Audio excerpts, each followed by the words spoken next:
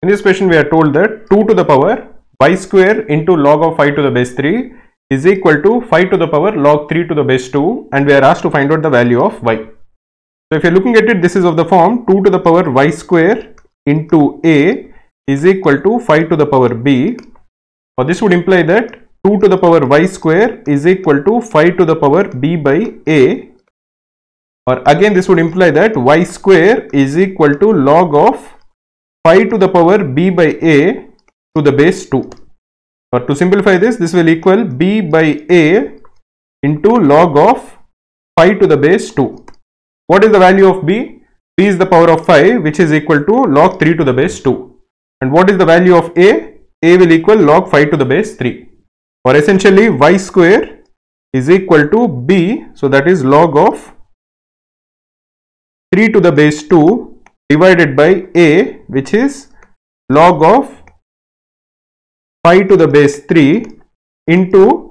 log of 5 to the base 2.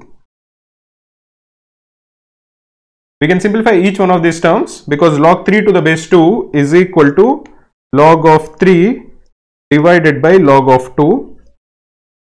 and log of 5 to the base 3 is equal to log 5 divided by log 3 but because it is in the denominator it will be reversed and so this will become equal to log 3 divided by log 5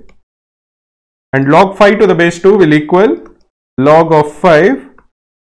divided by log of 2.